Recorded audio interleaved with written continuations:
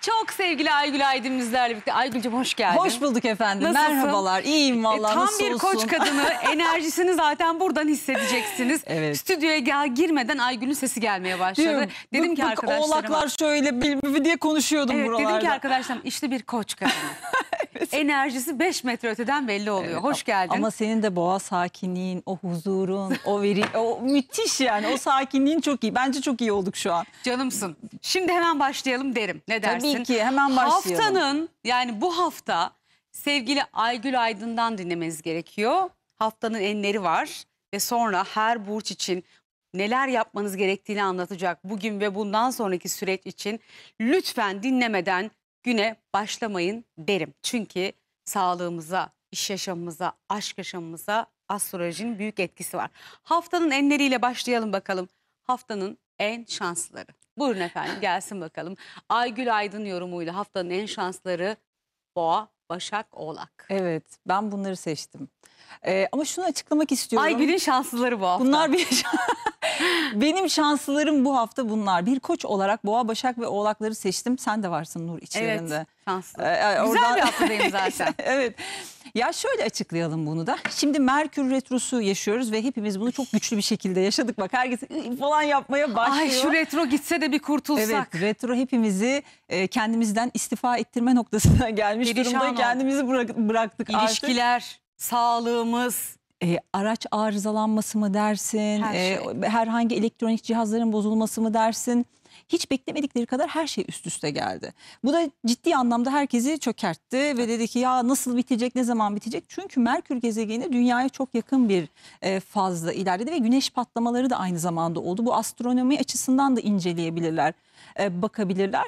E, o yüzden hayatımızla ilgili daha fazla o manyetik alanı, manyetik gücü daha fazla hissettik. E, biz de bu gezegende yaşıyoruz. Dünyanın dışında neler olduğunu biraz anlamamız ve biraz fark etmemiz için de e, böyle güzel bir şekilde bunların kimlere daha fazla o enerjinin yaklaştığını Ve bugün konuşuyoruz. tek tek anlatacak. Bakın yani koçtan balığa kadar bu Merkür gerilemesi az kaldı değil mi? 18'inde bitiyor. 19 Ekim'de 19'da bitiyor. bitiyor. ama şu an en önemli aralık. Yani bugün Ay, ve şu son vallahi. 5 gün e, son e, maçta uzatmaları Evet herkesin canı burnunda. evet gerçekten öyle. Yaşamınızla ilgili kötü giden bir şey varsa bizi mutlaka dinleyin. Çünkü Merkür gerilemesi hepimizi etkiliyor. Haftanın en şansları arasında Boğa, Başak, Oğlak dedik. Hı hı.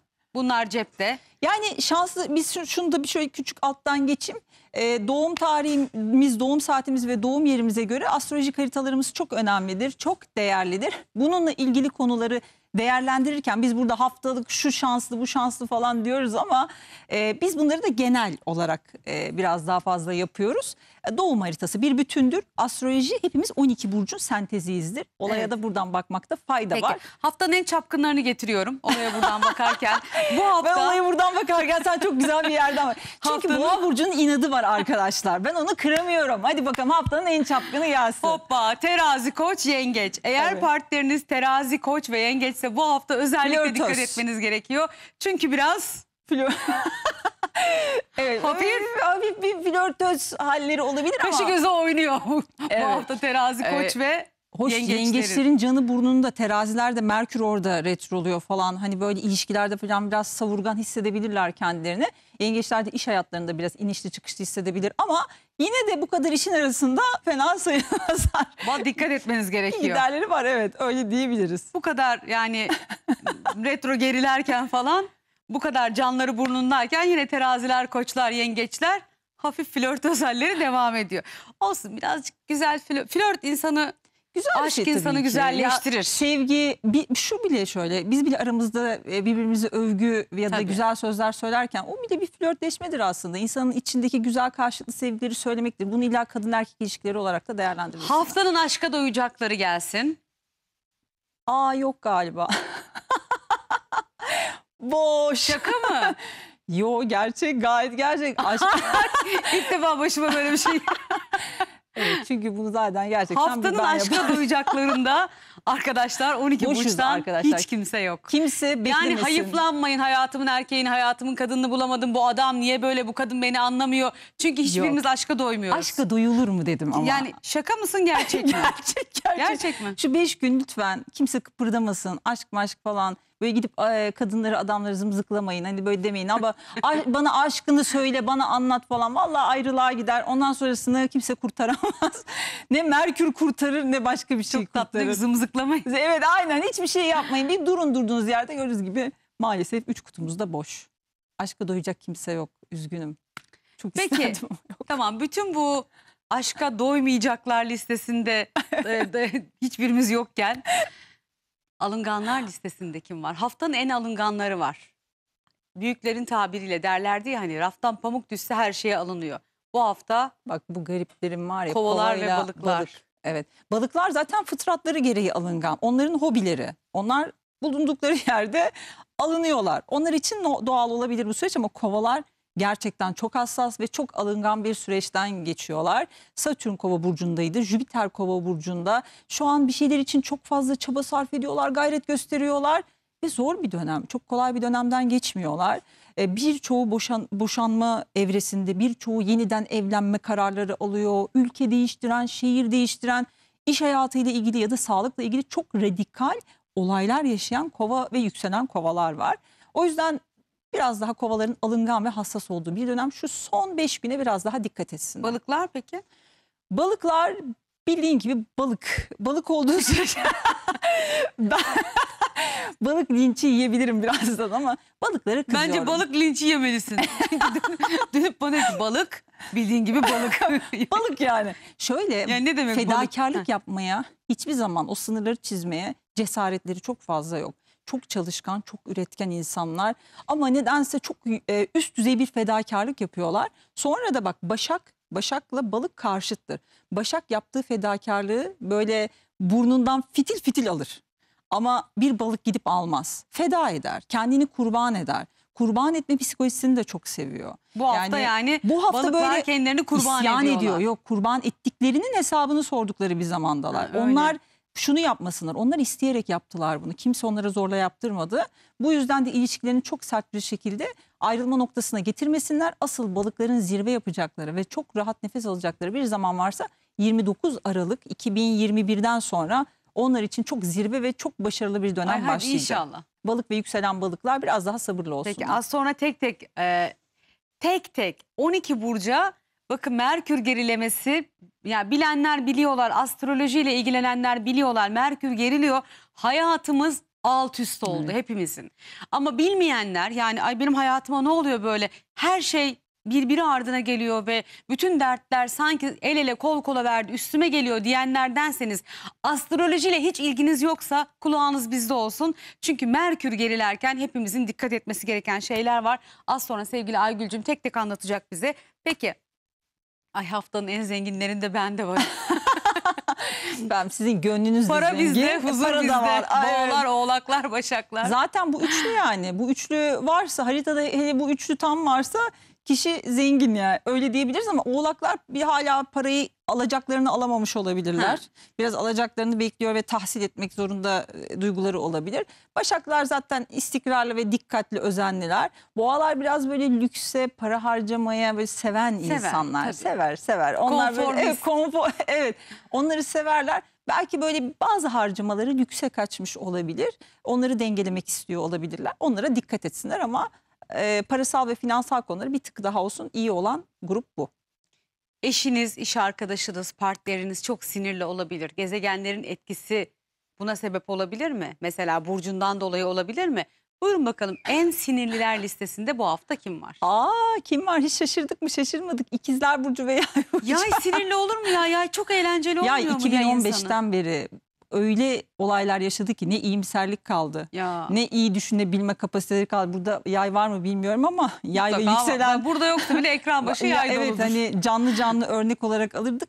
Yay ve yükselen yaylar gerçekten 2015 ve 2017 yıllarında hayatlarıyla ilgili çok radikal olaylar yaşadılar. Şimdi bu süreçte de şu bir hafta, bir iki hafta biraz zor geçmiş olabilir. Şimdi yeni kararlar alıyor yaylar özellikle. Spor yapacağım, kendime bakacağım, daha kendimle ilgileneceğim Değişim dedikleri evet dönemi. bir değişim dönemindeler. Bir kızgınlık var. Bir kızgınlığı söndürmek isterken kendilerini değiştirme kararı veriyorlar. O öfke biraz o olabilir ama iyileşecekleri güzel bir dönem. Çok agresif yaklaşmasınlar. İkizler de biraz sinirlendiği zaman çok hızlı cevap verir ve kırıcı olabilir. Biraz onlar da bu hafta buna dikkat etsinler bence. Yani ikizlerin bu hafta dilinin kemiği yok. Evet yok yayında ok yaydan çıkmış olabilir. Evet. Ona dikkat edecekler birazcık. Evet ok yaydan çıkınca yani Onların hiç hiç oluru yok yani. gönlünüz yanabiliyor. Peki gelsinler bakalım kim gelsin? Hmm, kıskançlar. Haftanın kıskançlarında bakalım siz var mısınız? Terazi Yani bir kere burçları- yengeç hiç kıskanç olur mu? Yengeçler şöyle e, çok kıskanç e, insanlar e, değillerdir aslında. Ya bunu burca göre de kıyaslamak çok da doğru değil. Yengeç kıskançtır, o çalışkandır diye Bu çok haftanın ayırmamak da etkisi lazım diyelim. ama bu hafta bazı konularda belki kendilerini de kendilerine de kızıyor olabilirler. Belki de partnerlerine karşı bir şüphe duyuyorlar e, ya da kaygı duyuyorlar. Belki de ben daha çok çalışsaydım böyle olabilirdim. Neden olmadım diyor olabilirler. Merkür de terazi burcunda e, şu an bir retroda. Teraziler de şu an e, kızgınlık, öfke ve bir takım kıskançlıklar, hesaplaşmalar içerisinde olabilirler. Bunu böyle de e, yorumlayabilirler kendi üzerlerinde. Bu haftanın en güvenilirleri geliyor. Bak bu hafta sırtını bu iki burca yasla. Gerisini merak Ay, etme. o kadar güzel anlatıyorsun ki yemin ediyorum müthişsin ya. Bence sen Tam güzel bir boğa, hayır çok güzel anlatıyorsun. Tam bir boğa kadınısın yani gerçekten. O kadar ben de ben söylüyorum ya He. ben bunları söylüyorum evet ama senin bana bunları öyle güzel aksettiriyorsun ki ben de heyecanla merak ediyorum. Ben hangisini dedim acaba? Gerçekten ama bak yani Çok güzel söylüyorsun. elimde daha ne bilgiler var. Ben güzel. inandığım, güvendiğim Evet her ya, şeyi. Müthiş. Yani böyle gözümün içine bakın benim yalan söylediğimi hemen anlarsınız. Sen Hiç, tam bir boğa kadınısın. hiç Net. yani mesela bir insanı seviyorsam ay böyle mıncır mıncır severim. Sevmiyorsam böyle. Hiç o mesafeyi korur yani hiçbir şekilde. Kova ve akrep. Evet. Akrep, akrebim can ya. Akrep. Akrepleri güven... Kova kadınını çok seviyorum. Ama erkeğiyle ilgili düşüncemi biliyorsunuz. Allah Ben- muhafaza. Ben şey diyorum mahşerin üç atlısı var. Ee, kova erkeği, yay erkeği, yengeç erkeği. Bu üçüne... bu, bu üçünden şikayet etmeyin diyorum ya. Etmeyin yani. Etmeyin. Çünkü niye? Çünkü zaten bu, kendinizi onları lades Allah'a havale oluyorsunuz. edin gerisini koy verin.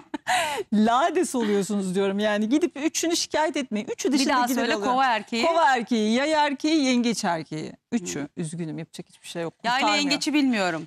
Ya tabii ki haritadaki Ama dinamikleri... kova deneyimlemiş biri olarak söylüyorum. Evlerden ırak. Ya her şeyi çok iyi Kadını biliyorlar. çok zeki, çok akıllı, Bak sana bir şey söyleyeyim çok mi? enerjisi yüksek. Kova kadınına hastayım. Bu burçların kadınları çok iyi ama. Evet, Bak kova kadını müthiş. yengeç kadını da öyle. Kova erkeği maazallah. Neyse Evet. hadi yazık oldu onlara da. Gömdük Harcadı şurada. kova Gömdük iki toprak üstüne. Ama bu hafta en güvenilir burçlar arasında. evet bu haftalık güvenebilir. bu haftalık güvenin Kısa kısacık süreli. 5 gün diye güvenebilirsiniz. Ama akrepler zaten güvenir insanlardır. Onlara sonsuz bir güven duyabiliriz. Önemli olan akrebin size güvenmesi. Akrep Tabii. size güveniyor mu? Sabaha kadar akrebe güvenin. Önemli olan akrep Bir size akrebin güveniyor sana mu? güvenmesi doğru. Evet. Ya canlarım benim bu hafta bak bak kızıyorum kova erkeğine ama olsun yine de bak bak canlarım diyerek bak mutsuzlar bu hafta. Ya aslında onlar Mutsuzlar listesinde bakın kimler var. Kova yanına kimi almış? Aslan, Aslan. almış. aslanlar kızgın. Ee, Niye mutsuz. kızgın? Onlar biraz iş ilişkileri, iş hayatlarıyla ilgili konular. Ee, belki çevre, yakın çevre ilişkileri, belki hukuksal problemleri. Biraz sağlıkla ilgili de problemler olabilir. Burada biraz öfkeleri ve kızgınlıkları olabilir ama kovalar yine tekrar ediyorum 2020'den beri gerçekten çok zorlandıkları, çok sert bir dönemdeler. Kovalar nasıldır? Her şeyi ben biliyorum der. Ben biliyorum yönleri vardır. Bazen dışarıdan siz Ay beni ekrandan al yüzüme yazıyor mimiklerim. Sinir Biraz daha- sunucu. Biraz daha Hayır kovayı- sen söyledikçe ben hmm Evet, falan evet. yapıyorum böyle. Farkındayım. Ee, kovalar diye devam edeceğim ama nur kopuyor şu an. Ee, kovalar her şeyi çok iyi bildiklerini sanıyordu ama şu iki yıl hiçbir şey bilmediklerini, her şeyi yeniden öğrendiklerini görüyorlar. Ama tabii ki iş işten geçti mi Nur Hanım? Geçti yani değil mi? Kaybeden kaybetti yapacak bir şey yok. Yani hele ki bir boğayı kaybettiyseniz. Ne derler süreç şeyi. Evet öyle. Aynen öyle. Bitti Peki. yani. Haftanın en mutlularına bak. Kol kola vermişler geliyorlar. Haftanın en mutluları. Kimmiş bakalım Buyurunuz ne efendim demiş? haftanın en mutluları. Boğa, Oğlak, Başak. Biliyorsunuz onlar en şanslılar listesinde de vardı. Evet. Bu Boğalar, toprak Oğlaklar, elementleri. Başaklar bu hafta. Bu mutluluk ne kadar sürüyor? ömür boyu sürdürürler so- sorun yok. Yani Aa. bu ekip gerçekten hayatlarında bir şeyleri oldurmaya çalışan bir ekip olduğu için e, istedikleri kadar gidebilir. Ta ki gerçek anlamda e, arabanın gitmediğini anladıkları zaman mutsuz olmaya başlarlar. Bir şekilde mutlu görünmeyi ve mutlu kalmayı başarabilen kişiler Araba teklerse bir de bunlar arkaya geçip Evet itekler. iteklerler. İtekleyecek birilerini de bulurlar. Hiç sıkıntı yok şu ekip için. Ee, diğerleri hemen mesela renk verir. Bir aslanın mutsuzluğunu hemen anlarsın mesela. Oğlak zaten e, şeydir asık suratlıdır.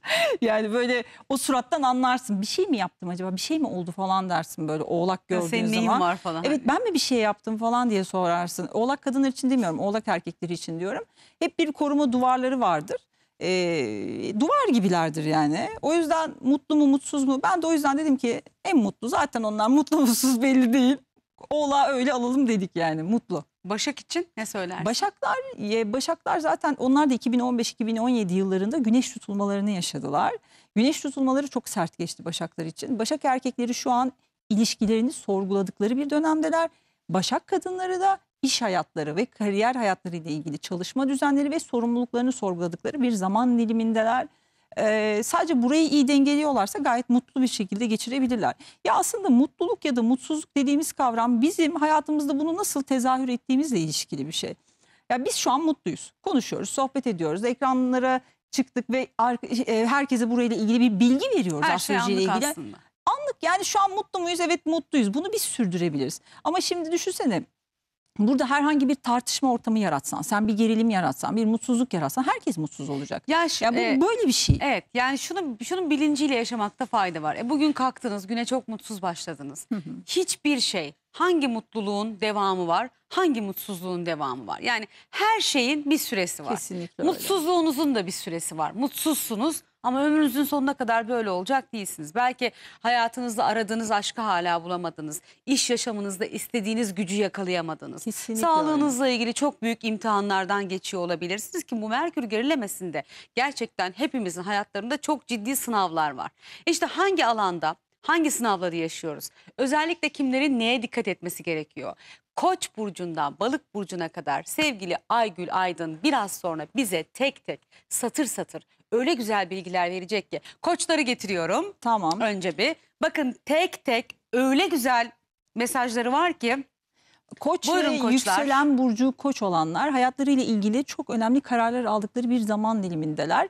Koçlar iş hayatlarıyla ilgili özellikle 2018 Ekim'e bir gitsinler. 2018 Ekim'den beri çok yoruldukları, onlara verilen sözlerin yarıda kaldığı, vaatlerin yarıda kaldığı, mobbing yaşadıkları. Bak bakın şuna da baksınlar 2011 ve 2012 zamanından e, bu duruma kadar hayatlarıyla ilgili çok endişeler ve kaygılar yaşadıkları bir zaman dilimindelerdi.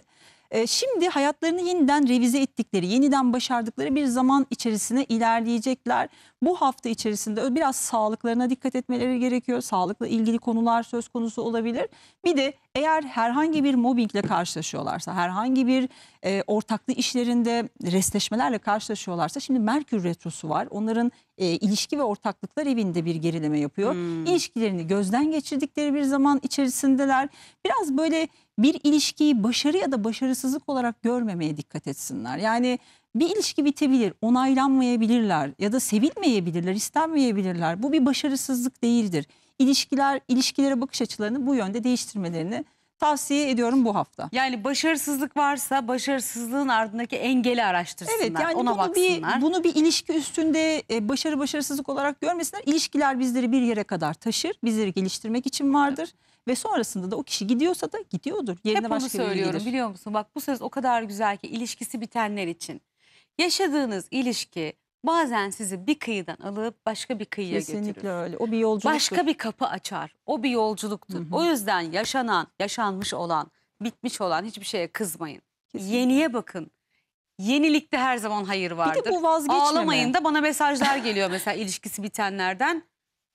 Bir de vazgeçmeme. Nur. Sağlık derdi olmasın. Bence ondan da bahsetmen lazım ya. Yani vazgeçmemek. Bırak bence vazgeçmek büyük bir özgürlük.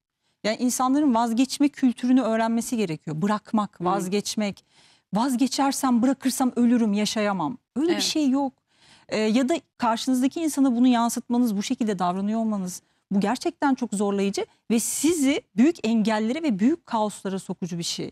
Bunu yapmamaları gerekiyor. Bu da çok Bak, önemli bir Daha şey. size bak bir de motivasyon cümlesi var Ne size demişim? koçların. Risk al. Kazanırsan daha mutlu, kaybedersen daha akıllı olursun. Ya. Bak gördün mü? Başarı başarısızlık yani, yani. koçların bu hafta risk alması Risk- gereken zaten bir onlar hafta. risk alan insanlar ama bir Merkür Retrosu yaşadıkları için ya yeter artık bu kadar kaos yaşıyorum yine ben bunu yaşamak istemiyorum dedikleri de bir hafta olduğu için orada bir şey yapmasınlar, düşmesinler. Yani bir koç olarak insanları anlamaktan yoruldum. evet Bu tahammülleri insanlar niye azaldı. böyle? Tahammülüm azaldı. Kimse beni anlamıyor. Aynen. İşimde istediğim başarıyı yakalayamıyorum. Ya sana küçük bir örnek vereyim. Geçenlerde ben de bir koçum mesela örnek bir sosyal deney size. Geçenlerde buraya park edemezsiniz hanımefendi dedi beyefendinin biri. Tamam olur dedim geri döndüm. Eskiden olsa niye park edemiyorum ben buraya? Buraya park edebilirim. Burası benim hakkım Bir diye koç olarak diyorsun. Düşünsene bir koç olarak Merkür Retrosu'nda vermiş olduğu yetkiyle tamam tamam park etmem ben başka yer bulurum diye tam 7-8 dakika yer aradım. Yani bir şeyleri zorlamak ya da risk almak belki o bir risk almak da olabilir. Yani Tabii. bazı şeyleri zorlayın, korkmayın, tahammülsüz davranmayın. Bunların getirisi sizlere olacak diyoruz. Bazı şeylerden de kendinizi koruyun. Hani koruyun Yani kesinlikle. çok özür dilerim derler ya çamura taş atma üzerine sıçrar. Yani bazen kötü olayların etrafından dolanmadan yani ufaktan uzayarak Yani çok güzel bir şey var sevdiğim karma diye bir felsefe var. Bu yurt dışında var. Türkiye'de karma dediğinde e, sana büyücü falcı gibi falan bakıyorlar. Karma dediğin şey Türkiye'de ektiğini biçme felsefesidir. Hı hı. Yurt dışında da e, bunun karma olarak tanımlanıyor İngilizcesi.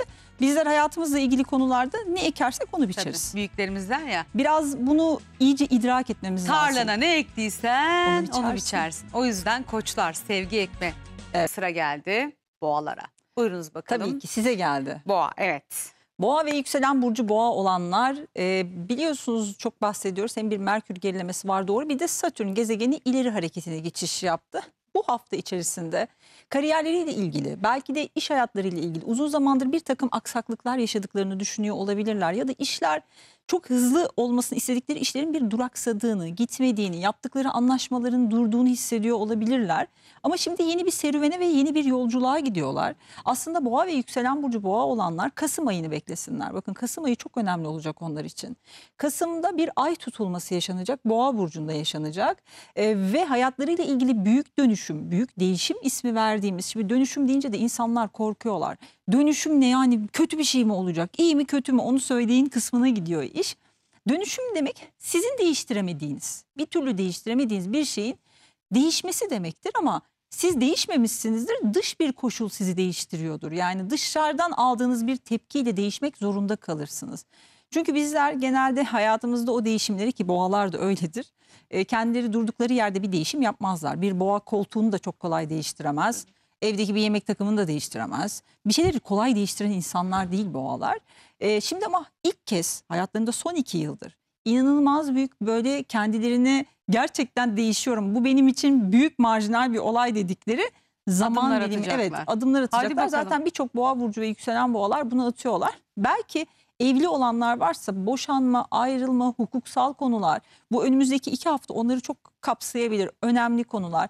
Burada evlilikleri ve ilişkilerine bakış açılarına biraz daha dikkat etsinler. Sağlıklarını ilgilendiren konularda daha özenli ve daha dikkatli olsunlar. Bir takım e, geçmişte e, onlar için problem olan belki ufak tefek e, hastalıklar, durumlar Sağlık problemleri. tekrar önlerine gelebilir. Bu Merkür Retrosu vesilesiyle de eksiklikleri tamamlayalım. Bekarlar? Yani bekarlar da şu an bir ilişki başlatmaktan daha çok bence Kasım ayından sonra hayatlarına gelen durumları değerlendirip yeni ilişkileri o zaman başlasınlar.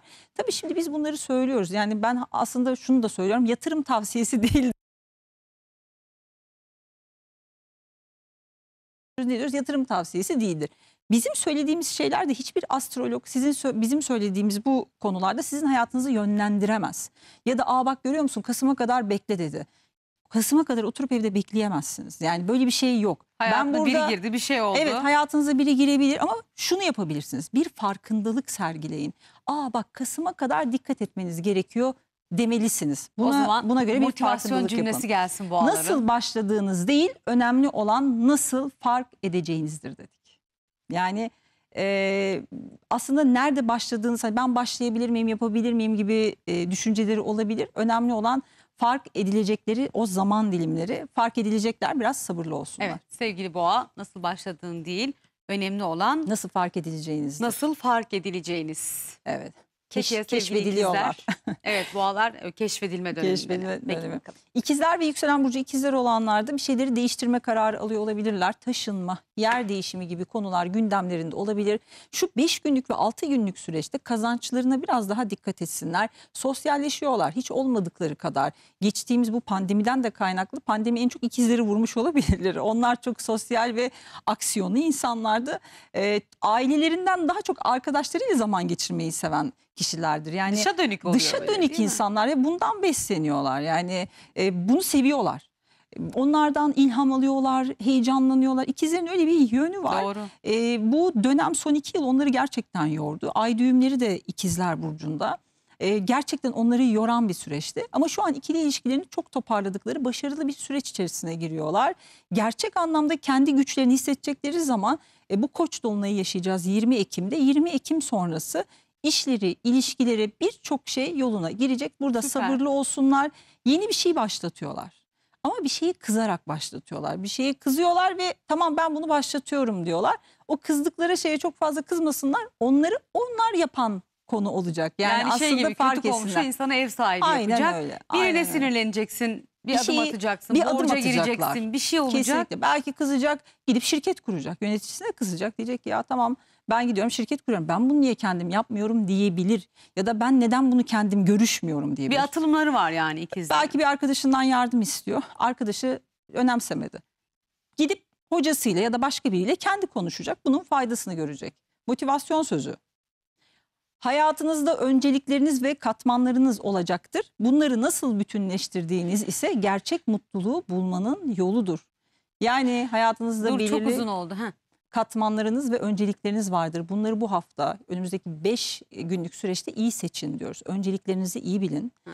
Ee, belirli katmanlarınızı iyi ayarlayın. Onlar şu anda birazcık Merkür Retrosu'nun da vermiş olduğu yetkiden dolayı biliyorsun onların yönetici gezegenleri oldukça dikkatleri dağınık ve şu an hangi yöne gideceklerini karar Bilmiyor, veremedikleri bir zamanda. Evet.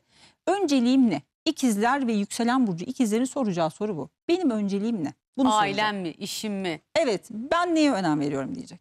Peki. Yengeç. Motivasyonunuz bu yönde olması gerekiyor sevgili ikizler. Yengeçler. Hadi bakalım. Yengeç ve bakalım. yükselen burcu yengeç olanlar. Onlar da bu terazi yeni ayının ve Merkür retrosunun aynı zamanda Mars'ın da terazide olmasından dolayı gerçekten zorlayıcı ve baskı altında kaldıkları, özgürlüklerini sorguladıkları olaylar yaşıyorlar. Şimdi özgürlük acayip bir şeydir. Yani sende özgürlük başka bir şeydir, başkasında başka bir şeydir. Biz özgürlük deyince çantamızı alıp gitmek olarak algılıyoruz ama düşünmek, belki eşinle kaldığın evinde e, ona sormadan bir şeye karar vermek de bir özgürlüktür. E, Bunun gibi düşünsünler. Özgürlüklerini sorguladıkları e, bazı ilişkilerde ya da iş hayatlarında aldıkları mobbinglerden kaynaklı zorlandıkları konuları biraz böyle bir öz eleştiri yapıyorlar. Ben özgür değilim, kendimi iyi hissetmiyorum ve bu benim sağlığıma yansıyor gibi belirli stresler içerisinde olabilirler. Bunu sorgulayacaklar. Bu belki ekonomik özgürlük. Belki de Hmm. budur. Ama Aslında çok, ekonomik öz- özgürlük o kadar önemli ki. Kesinlikle. Belki de bununla ilgili bir aydınlanma yaşıyor olabilir. Yani Hmm. e, senin benim 15 yıl önce keşfettiğimiz bir konuyu kişi bir anda 40 yaşından sonra 45 yaşından sonra da keşfedebilir. Yani bu Yani insanın yengeçlerin algısıdır. farkındalığı artacak, değişecek. biraz daha. Ee, ekonomik anlamda zor durumda olanlar evet. e, işleriyle ilgili olumlu gelişmeler Kesinlikle, yaşayacaklar. biraz En önemli burada- spot cümlesi bence bu Evet. yengeçler Biraz için. daha toparlayacaklar ama e, onların da hayatlarıyla ilgili kararlarında baskı gördükleri yerlerde bir dik duruş sergilemeleri gerekiyor. Bunu da lütfen yapsınlar diyoruz. Motivasyon sözü bazı fikirlerin keşfi onları hissetmekle mümkün olur. Yengeçler çok hissiyatlı insanlardır ama istedikleri, acı çektikleri şeyi hissederler. Bazı konular vardır acı çekmeden de hissetmeniz gerekiyordur. Yani illa eliniz yandığında gidip dokunduğunuzda oranın sıcak olduğunu anlamak zorunda değilsiniz. Dünyada hata yapacak çok hata var. Aynı hatayı iki kere yapmaya gerek yok diyoruz. Hata bir kere yaparsın. Yani e, İkinci kere de hadi yaptın ama, Ama üçüncü defa yaparsın artık- artık, bu senin tahammül de bir hatadır. Yani Tabii. uzun süre tahammül içerisinde de kalıyorlarsa ki yengeçler burada ben çok sabırlıyımla övünürler. Şunu mu söylüyorsun yengeçlere? çok fazla sabırlı olman sana çok şey kazandırmıyor. Kazanmadığını görecekler. Öyle bir Evet, dönemdeler. aynen öyle. Bu Merkür Retrosu yengeçlere Ve Mars'ın terazide olması bu kadar sabrın çok iyi bir şey olmadığını öğretecek. değmediğini görecekler. Peki. Yani burada bu değişimi yaşayacaklar. Aslan ve yükselen burcu aslan olanlar. Satürn kova burcunda ileri hareketine başladı pazartesi günü. Hayatlarıyla ilgili gerçek anlamda sosyalleştikleri ve güçlü oldukları bir dönem içerisindeler. Yalnızlık, belki bir ilişkiler ilişki konusunda yeni bir ilişkiye başlayabilirler. Yalnızlığı sorguluyor olabilirler. Bağımsızlıklarıyla ilgili, özgürlükleriyle ilgili özellikle kariyerle alakalı. Yöneticilik, belki terfi etme, yer değiştirme, iş hayatlarıyla ilgili konular bunlar çok e, gündemlerinde olabilir. Her zamankinden daha fazla bu 5-6 gün daha güçlü ve görünür hissedecekler. Yani bu önümüzdeki 5-6 Evet gün. 5-6 gün daha böyle kendilerini zinde, daha kararlı ve Daha güçlü. daha iyi hissedecekler. Bunu kullansınlar. Ne istemeleri gerekiyorsa, ne konuşmaları gerekiyorsa bu konuşmaları yapabilirler. İsteklerini e, ifade Özel edebilirler. hayatlarıyla ilgili mi yoksa iş Bu hayatlarıyla biraz ilgili daha mi? iş ve kariyer hayatlarıyla ilgili. Özel hayatlarıyla da ilgili Satürn ileri hareketine geçtiği için eğer tekrar ilişkilerini yeniden yapılandırmak istiyorlarsa, yeniden yapılandırmak nedir? Belki şu zamana kadar ayrılığı düşünüyordu. Tekrar barışabilir mi? Tekrar bir araya gelebilir mi? Bunları değerlendirebilir ve tekrar e, ilişkilerini yapılandırabilirler. Bunlar çok önemli olacak. E, motivasyon sözü zirveyi hak etmenin yolu yokuşlardan geçer demişiz. Yani biraz yokuşlar vardı evet ama Satürn ileri hareketine şu an gidiyor. E, bu ileri hareketine geçmesi sürecini çok iyi değerlendirecekler. Bir zirveye doğru ilerliyorlar. Oo. Bunun evet bunun biraz daha sabrını iyi hissetsinler. ne ki- kadar süre? yani en azından şu Kasım ayına kadar 19 Kasım'a kadar biraz sabırlı olmalarını tavsiye ediyorum. Şu 5-6 günlük süreçte de her şey çok net şekillenecek. Hepimiz Allah'ım tüm ya 12 Rabbim, burç şu 5-6 olarak günü en az hasarla atlatalım ya. e, Merkür Merkürmüş duranlı ya? evet duranlaşıyor.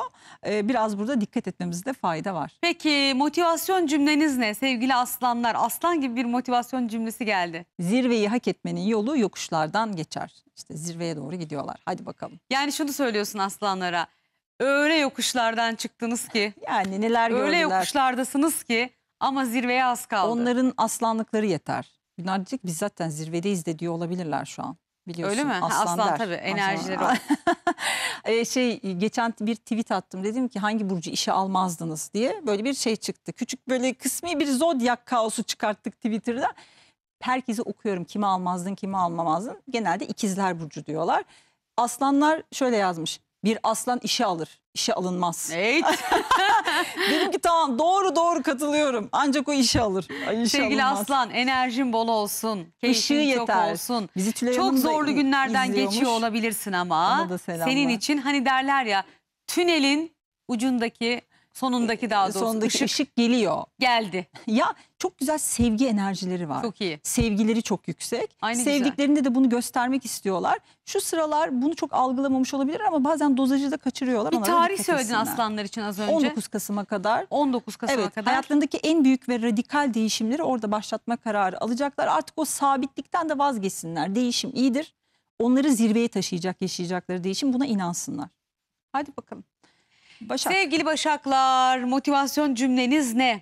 Siz neye dikkat etmeniz gerekiyor? Bakın program başında söyledim. Hiç astrolojiye inanmıyor olabilirsiniz.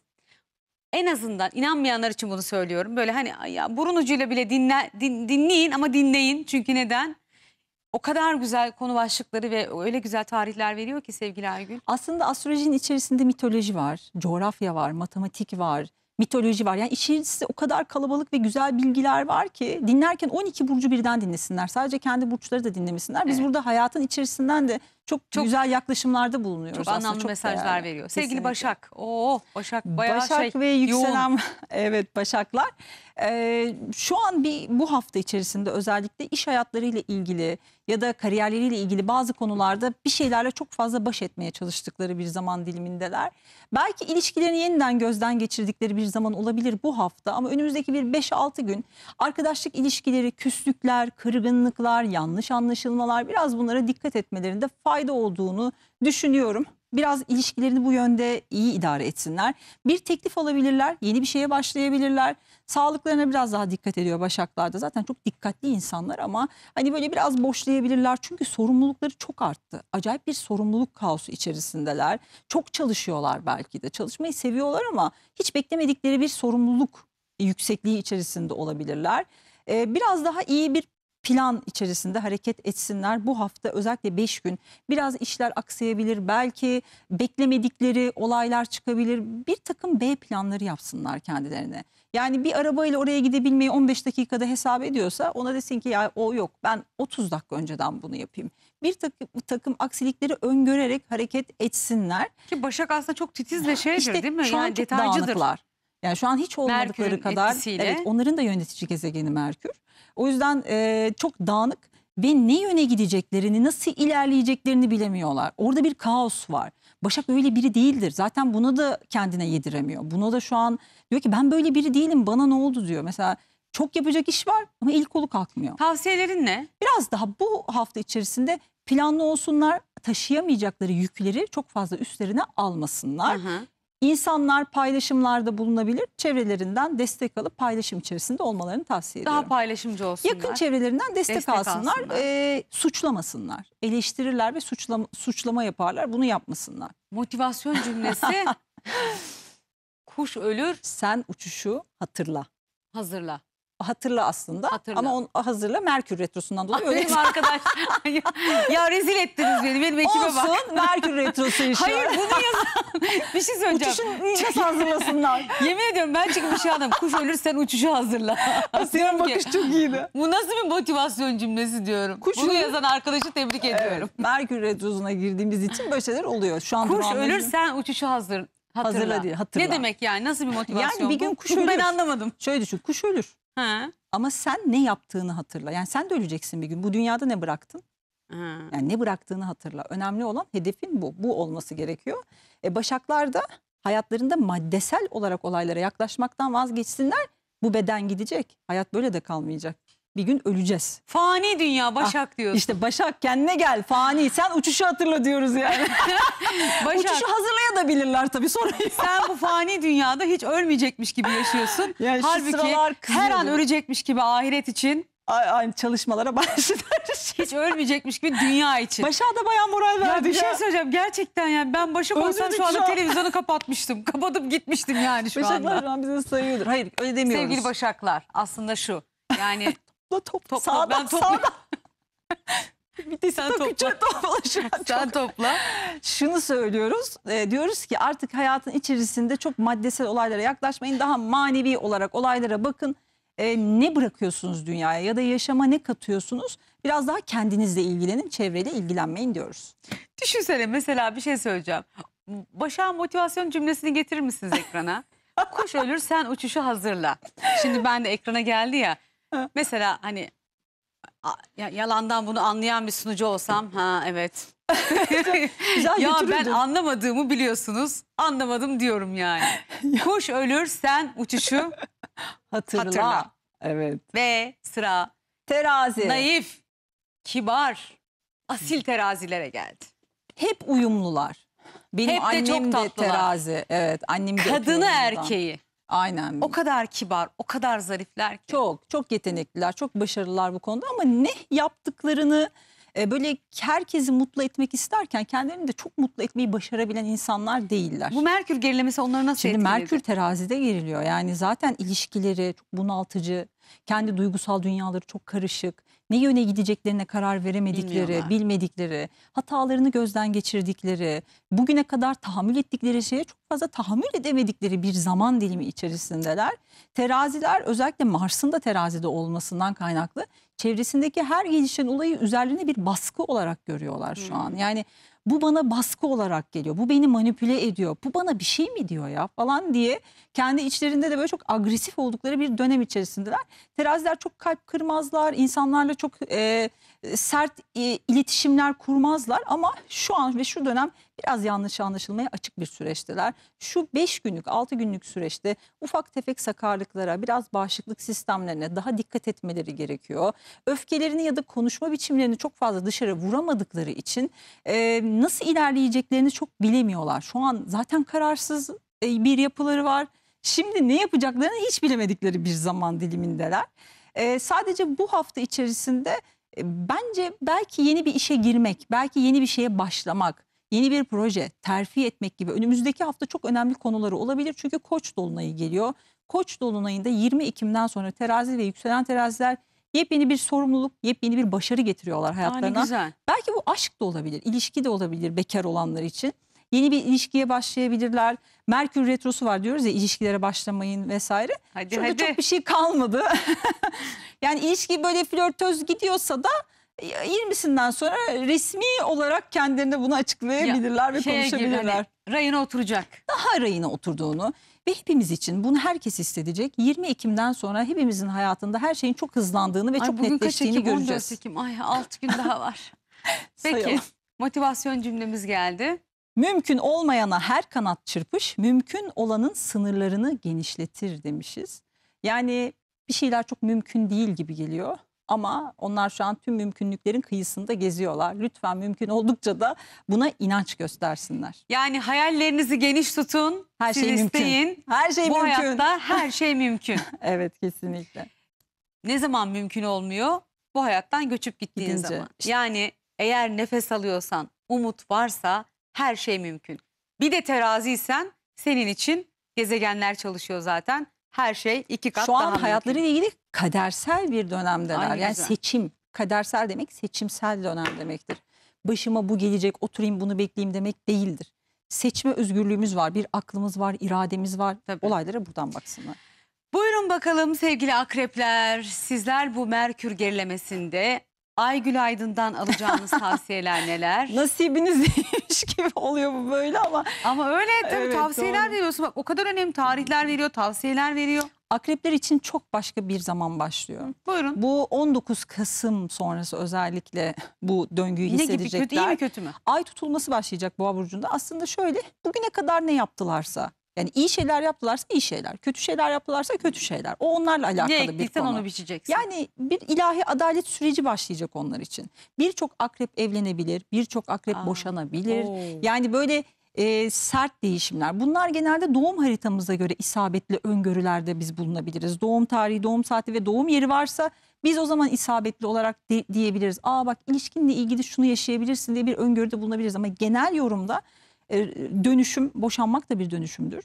E, evlenmek de bir dönüşümdür. Çocuk sahibi olmak da bir dönüşümdür. Birçok akrep şu an bu önümüzdeki Kasım'dan sonra belki çocuk sahibi olacak. Belki tüp bebek tedavisi görüyor. Belki bununla alakalı hani senaryo ne yazabiliriz? Böyle düşünsünler. Hikayelerini bilmiyoruz. Herkes yani hikayesine göre yaşayacaklar. ne varsa Bununla ilgili bir mücadele ve bir karar aşamasına gelecekler. Burayla ilgili bir şey ya da sizi olacak. zorlayan, Belki de uzun zamandır bekledikleri, onları zorlayan, seçmek zorunda oldukları. iş değiştirebilirler, Ülke değiştirebilir. eş değiştirebilirler, Evet, ülke, değiştirebilirler. Yani bunlarla ilgili birçok e, konu söz konusu olacak hayatlarıyla ilgili. Şimdi İyi onun şey olsun inşallah. onun adım adım böyle temellerini attıkları bir zaman. Ayak Cesur sesleri olsunlar. geliyor. Evet evet. Şu an zaten az çok neyle karşılaşacaklarını onlar da tahmin ediyorlar. Onların sezgileri de kuvvetli. Hissediyorlar. Hayatlarıyla ilgili büyük bir değişim içerisine giriyorlar. Sadece Güneş ile Plüton'un bu hafta içerisinde sert etkisi onları iş hayatlarında, evliliklerinde, ilişkilerinde çok sert e, baskı ve manipülasyona götürebilir. Bunları biraz fark etsinler. İlişkileri çok zorlamasınlar, sabırlı olsunlar. Merkür gerilemesi belki hukuksal konuları tekrar önlerine getirebilir. Bir dava açmak ya da hukuksal belki de bir şirketi vardır. Müşteriyle olan ilişkileri kötü gitmiştir. Müşteri ilişkilerini kesiyordur mesela. Senaryo mu? Al sana senaryo yazalım akrep için gibi. Her şey olabilir. Hani böyle düşünsünler. Burayla ilgili stresli davranışlarda bulunmasınlar. İşler 20 Ekim'den sonra daha iyi ve yolunda gidecek Peki diyebiliriz. bir dakika motivasyona geçmeden önce yakın çevreniz tarafından uğradığınız manipülasyonu fark edeceksiniz. Yani Evet. e, yakın çevre derken eşiniz, ne bileyim kayınvalideniz, komşunuz, Tabii iliş- arkadaşınız, aynen, akrabanız aynen, aynen. ne yapabilir yani? bu Yani durumda? bunlarla ilgili bir takım manipülasyonlarla karşılaşabilirler.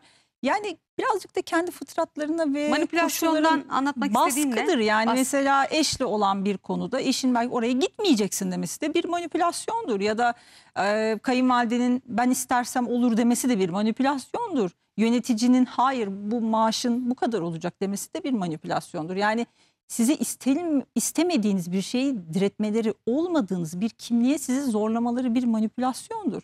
Biraz akrepler de olmadıkları bir kıyafete girmek zorunda kalabilirler.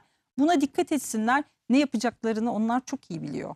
Akreplere ne Ve- yapacaklarını söylemek bize düşmez. Ve motivasyon cümlesi geldi. Yola çıkmayan nereye kadar gidebileceğini, kanatlarını açmayan hangi dağı aşabileceğini bilemez.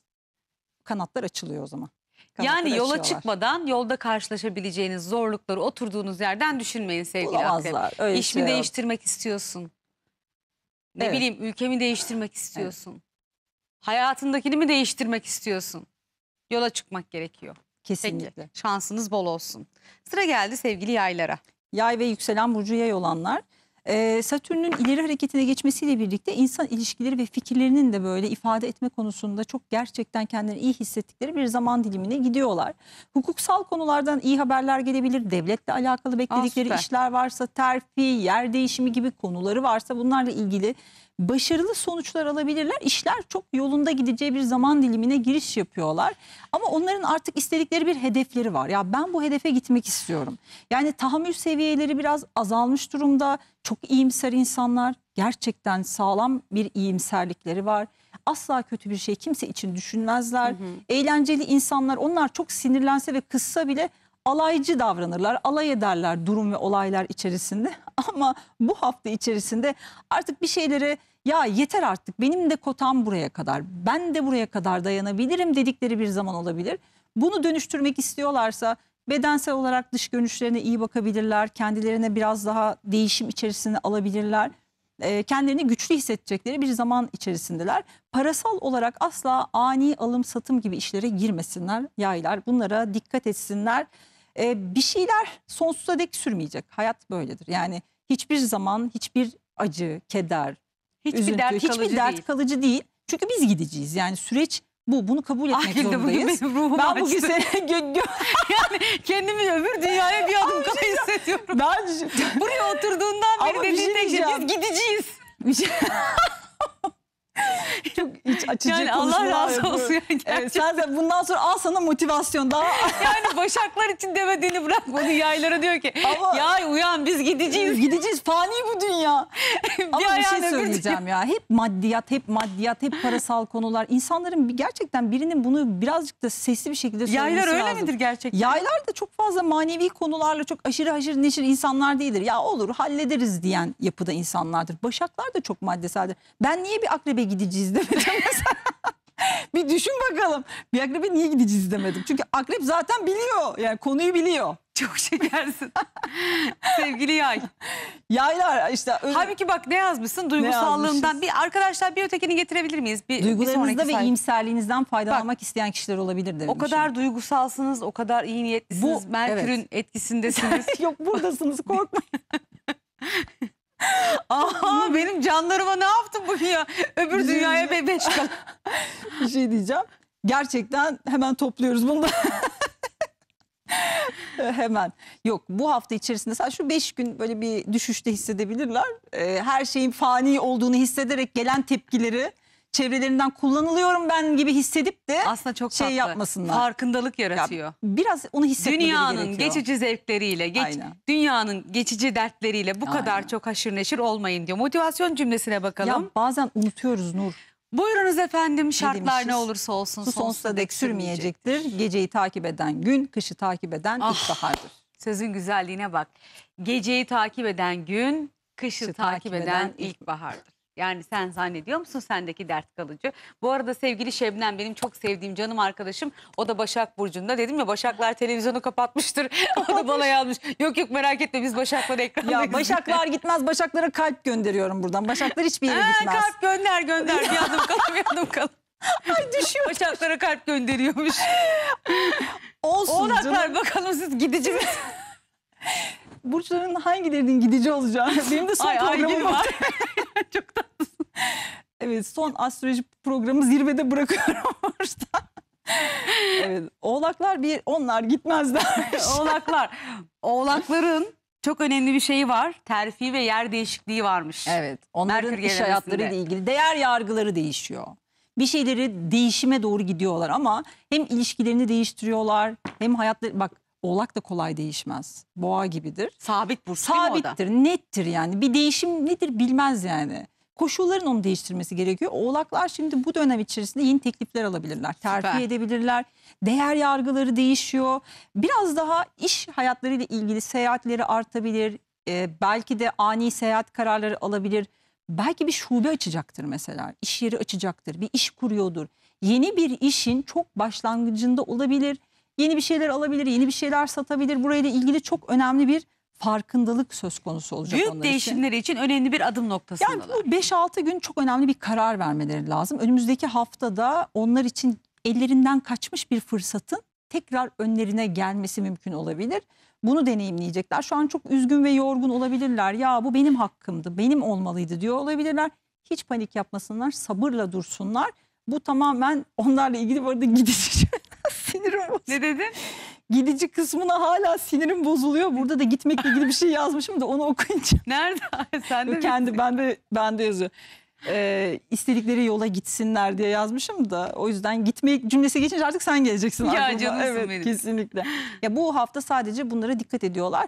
Kaçan bir fırsat var diye düşünüyorlarsa da düşünmesinler. Tam tersi Fırsatlar dönemindeler. Fırsat kaçan fırsaların geri, Geri gel. döndüğü bir Oo, dönem. süper. Evet. Hatta Peki giden arasınlar. mesela giden sevgili varsa geri dönüyorsa falan. Ya onların ilişkileriyle de ilgili asıl zirve olacakları dönem Ekim'in sonu Kasım zamanı. Venüs Oğlak Burcu'na geçiş yapacak. Venüs Oğlak'a geçecek. Venüs şimdi yayda Oğlak Burcu'na geçince Mars da Akrep Burcu'na geçecek. Venüs Mars arasında çok güzel koruyucu açı dediğimiz 60 derecelik bir açı olacak. Bu Oğlak ve Akreplerin aşk hayatları ve ilişkileriyle ilgili mucizevi Muhteşem. çok güzel bir döneme götürecek onları. süper. Buna inansınlar ve ilerlesinler. Ya da aşk olmayabilir, para olabilir. Mesela Venüs aşkı da anlatıyor, parayı da anlatıyor. Ee, para isteyenler varsa para olarak da değerlendirebilirler. Kim neyi istiyorsa kendine dönüştürebilir. O zaman şöyle diyelim Allah herkesin gönlüne, göre Gönlüne versin. göre versin. Bizi Aynen izleyen öyle. oğlaklar arasında aşk mı istiyorsun, para mı istiyorsun? Ne istiyorsan dualarını lütfen o yönde yap. Çünkü senin için evren çalışıyor. Kesinlikle. Öyle bir dönemdesin. 2019'dan beri güneş tutulmaları yaşadı oğlaklar. 2019 Yani, ve 2020 kötü mü? yılında yani onlar için kaza yapanı çok oldu. Oo. Hukuksal sorunlar yaşayanları çok oldu. E, boşananlar, ayrılanlar yani hayatlarıyla ilgili gerçekten olumsuz gördükleri şeyler oldu. Şimdi onların aslında ne kadar hayırlarına işlediğini gördükleri bir dönem başlıyor. Hı hı. O zor süreci atlatıyorlar artık bitiyor. Süper. Yani üstlerinden onu atıyorlar. Onlar da ya yine olur mu başıma gelir mi demesinler.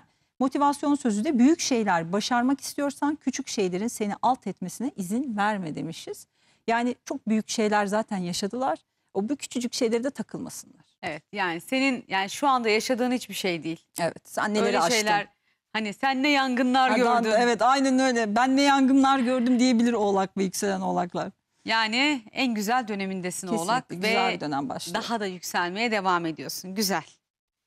Kova ve Sıra yükselen geldi burcu kovalara. kovalar. İstersen geçebilirim Tabii, kovayı. tabii. Kovayı direkt geçeyim istiyorsan. Hayır tabii tabii diyorum. Hayır olur mu canım? Hayır vetolu ya o Şimdi yüzden. bir şey söyleyeceğim. Kova erkeğiyle ilgili konuştum ya tabii çok destek veren hanımefendi olmuş yazmışlar bana.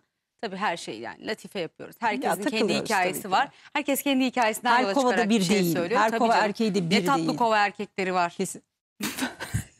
burası bak burası yalan. Şu an Biz buraya inanamadık yine inanamadık Burası buraya. yalan. Teselli ediyoruz. Evet olsun yani. Öyle diyelim biz yine de. Bütün kova kadınları için geliyor. Sadece kova kadınları dinlesin dermişiz. Peki yönetici gezegenleri Satürn. Ee, o da ileri hareketine başladı. Ee, ve Satürn kovada. Uzun süredir kovaları köşeye sıkıştıklarını hissettikleri bir dönemdi. Gerçekten böyle kıpırdamak, hareket etmek zorlandıkları bir süreçti. Şimdi hayatlarıyla ilgili gerçekten bir şeylerin hızlandığı, daha güçlü hareket ettikleri bir zaman diliminde olduklarını görecekler. Bu Süper. hafta tüm engeller artık açılıyor. Yani hatta bir engeli kaldırdıklarında bile ya emin misin bu yol açıldı mı? Bu benim yolum mu diye bile sorup şaşırabilirler. O yüzden o engelin açıldığına öncelikle onların inanıp e, şöyle elleriyle itmeleri ve temizlemeleri gerekiyor. Buna inanç göstersinler. Hayatlarıyla ilgili gerçekten bir yokluk hissi yaşadılar. Şimdi kovalar bunu bilmezler. Kovaların içsel olarak bir bilge kişiliği vardır. Her şeyi bilerek doğmuşlardır onlar. Hı hı. Yani o güçlü bir bilgi hazneleri vardır ve gerçekten dahidir, zekidir, zeka vardır. Yani zeka herkeste de çok kolay olabilecek bir şey değildir ama onların doğuştan fıtratlarında olan bir şeydir. Ve insanlara kolay bağlılık sergilemezler. Birine çok kolay bağlılık sergiledim, sergilemediğimiz zaman o insan güçlü görünür. Güçlüdür yani güçlü bir yönü vardır. Özgürlüğünü çok sever. İnsanları sever. Yani şurada bir kişiyle konuşmayı sevmez kova. Kova 15 kişiyle konuşmayı sever. Ya da bir kişiye yemek vermeyi sevmez. 15 kişiye yemek vermeyi sever. Kolektiftir. Kolektife hizmet etmek ister. Bunların hiçbirini yapamadı kovalar. Kovalar hep bireysel kalmak zorunda oldular bu son dönemde. İş hayatlarıyla ilgili yargılandılar. Belki iftiralara maruz kaldılar, zorlandılar. Şimdi bunlarla ilgili haklılıklarının anlaşıldığı bir dönem ve sürece giriyorlar. Başarılı bir süreç yaşayacaklar. Sadece biraz daha dayansınlar.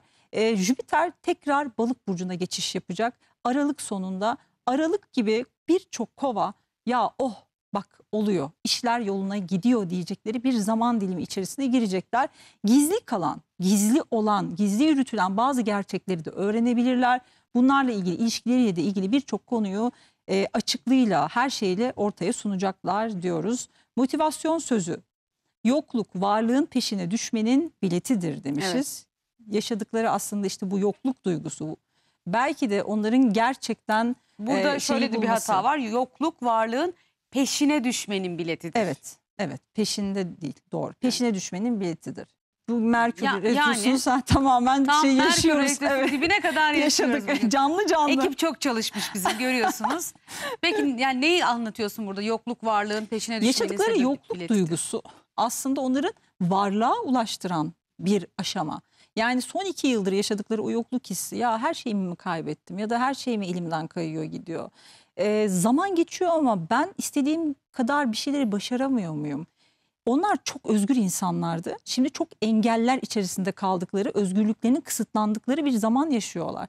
Bir kova bunu şu an yaşadığı için çok fazla sorumluluk alıyor. Belki e, çocuk mesela bir çocuğuna bakmayla ilgili bir sorumluluğu yoktu. Bakıcısı ayrıldı Hı hı. ve bakıcı bulamıyor atıyorum. Çocuğuna bakmak zorunda kalıyor. Yani onun özgürlüğünü kısıtlıyor gibi gibi. bir örnek verebiliriz. Sıra geldi balıklara. Balık Efendim balıklar bu hafta Merkür gerilemesine neye dikkat edecekler? Ya Merkür'ün gerilemesiyle birlikte balıklar biraz hayatlarında daha fazla aksilikler yaşamış olabilirler.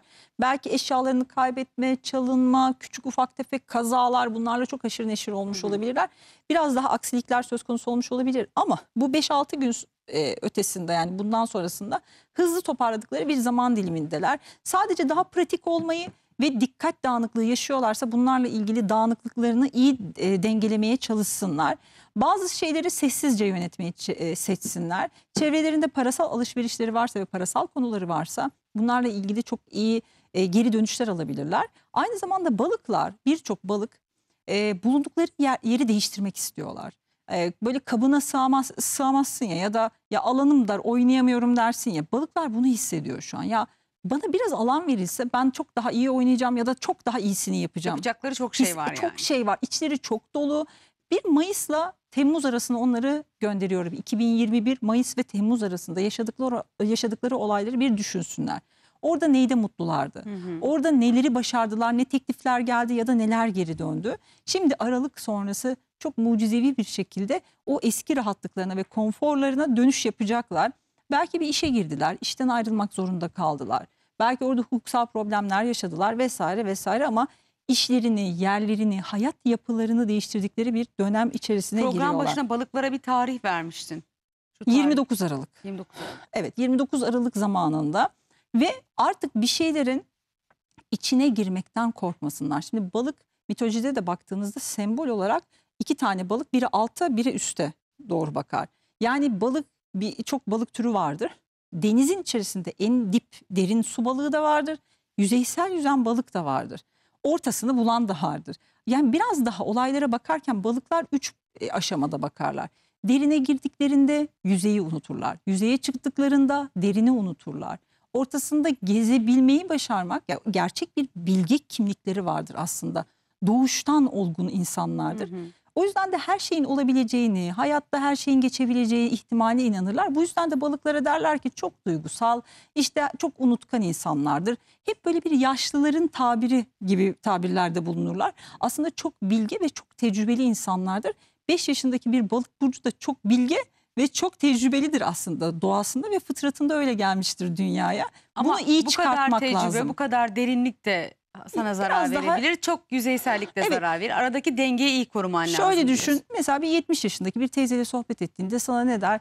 Ya kızım işte böyle yapmayalım. Hayatta bunlar olabilir değil mi? Hep bir, bir bilgilikle her şey var. Evet hayatta her şey var değil mi? Bunları söyler.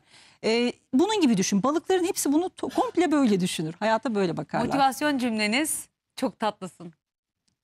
Sen söyle. Fesleğen. Gerçekten doğru. O kadar güzel kokar ki fesleğen ve sadece yalnızca ona şöyle dokunup elinizi sürdüğünüzde kokusunu verir. harika kokular ya. Sanırım bir yerlere ya. dokunmaları gerekiyor olabilir. Evet.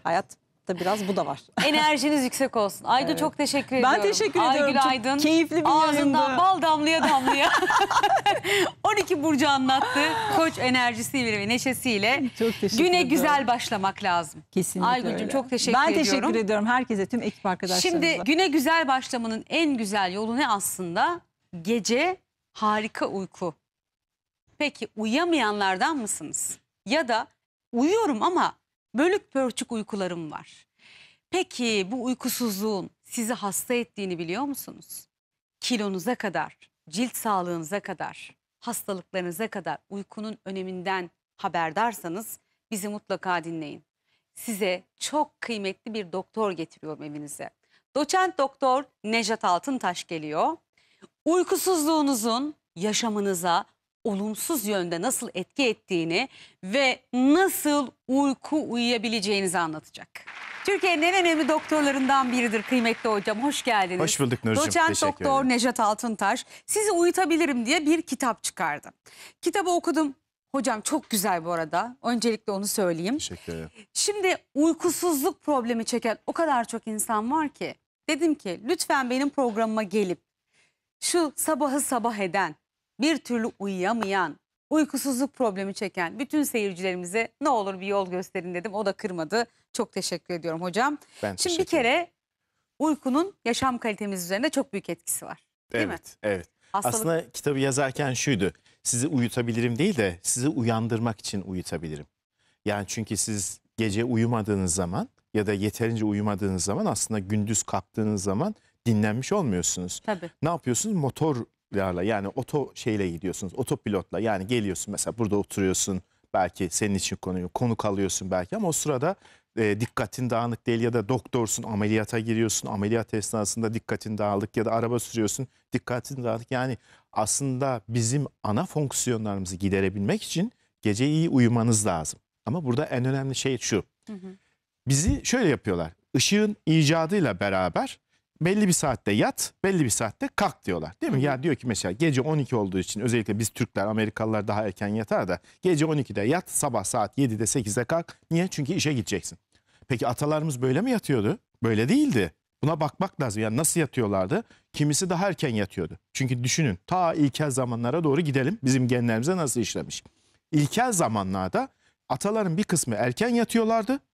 Öbürleri onları bekliyordu ki av olmasınlar diye. Ondan sonra onlar yatıyorlardı. Onlar geç yatanlardı.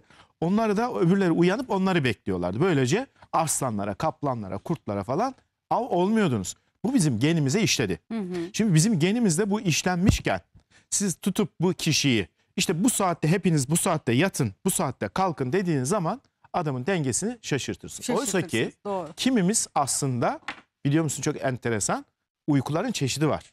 Yani Evet kimimiz hocam ya buna inanamayacaksınız. Bakın müsaade eder misiniz Tabii ki. seyircilerimize bir şey söyleyeceğim. Test yapacağız canlı yayında. Uyku testi yapacağız. Arkadaşlar ne yapıyorsunuz? Ne gürültücüsünüz ya? Başka var mı gürültü yapacağınız bir şey? Uyku testi yapacağız canlı yayında. Evet. Sevgili seyircilerimiz bir kalem bir kağıt alın elinize. evet Ne olursunuz bir kalem bir kağıt alın. Yapacağımız testi rica ediyorum canlı yayında yapın. Uyku testinde şöyle. Dört tip uyku Aynen. çeşidi var değil mi? Evet. Neydi hocam?